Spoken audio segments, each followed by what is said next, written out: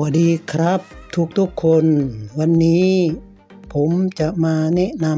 ำการฝากเงินเข้าแอปสากรออมทรัพย์ครู ผ่านมือถือ อันดับแรก เรามาหน้าจอโทรศัพท์นะครับ เราก็มาดูว่าแอปสากรเราตรงไหน เราก็มากดตรงนี้ นะครับ กดเข้าไปเลย พอมาถึงหน้านี้แล้วเราก็มาจิ้มตรงนี้จิ้มตรงนี้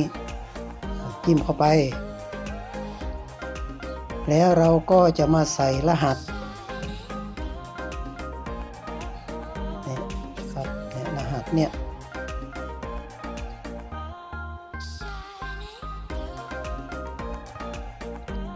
ใส่รหัสลงไปเลย พอมาถึงหน้านี้ เราก็มาจิ้มตรงนี้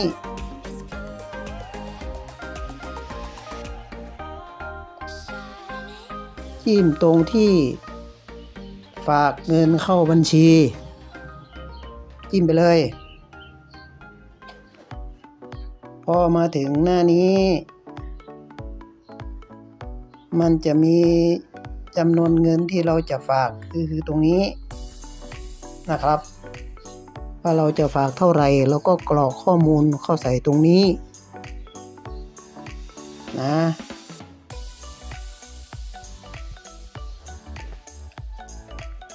แตะเข้าไปใส่เลยหน่วยสิบร้อยพันหมื่นแสน แล้วเราก็มากดตรงนี้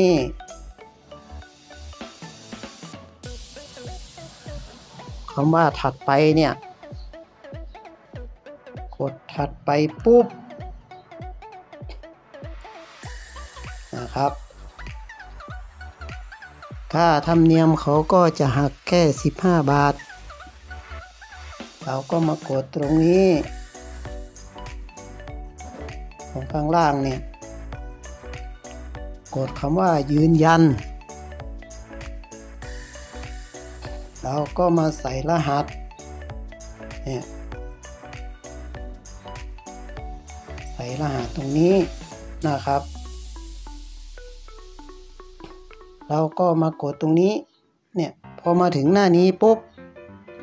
เราก็มากดตรงนี้เนี่ยครับเนี่ยเนี่ยเนี่ยเนี่ยเนี่ยก็ตรวจสอบอะไรต่างๆปุ๊บแล้วก็กดเสร็จสิ้น นะครับ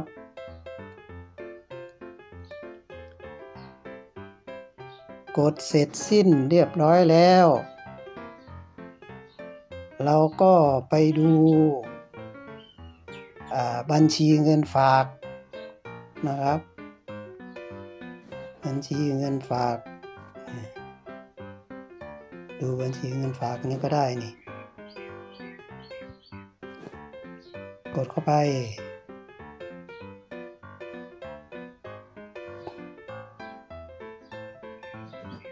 นี่ครับ เงินเข้ามาแล้วครับ เงินเข้ามาแล้วครับ แต่เงินผมคงค้างอยู่ 400 กว่าบาท แต่วันนี้ผมว่าจะฝากเงินเข้าสักแสนเนี่ยนะเข้ามาแล้วครับทำตามตามขั้นตอนถ้าหากว่าคลิปนี้มีประโยชน์ ช่วยกดติดตาม กดไลค์ กดแชร์ และกดกระดิ่ง ให้ผมด้วย ขอบคุณครับ หลังจากนี้เราก็จะออกจากระบบ จะออกจากระบบออกยังไง เราก็มากดตรงนี้ ตรงนี้นี่ตรงนี้ครับตรงลูกศร ข้างซ้ายมือ กดไปก่อน กดไปปุ๊บพอมาถึงตรงนี้ อ่าเราก็มากดตรงนี้ครับนี่กดตรงนี้เนี่ยที่เป็นวงกลมแล้วก็มีลูกศรมุมขวามือนะครับ กดตรงนี้ปึ๊บ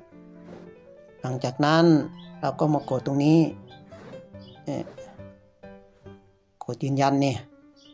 นะครับ กดยืนยันการออกจากระบบ กดตรงกดกดเข้าไปเลยครับนี่นี่ออกจากระบบละนะครับ ออกจากระบบ เราได้ทำการ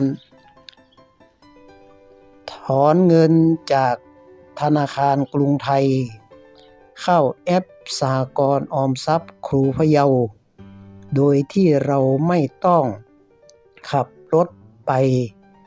ที่สากรอมทรัพย์ ครูพะเยา เพราะว่าเจ้าหน้าที่ ทางสากรณ์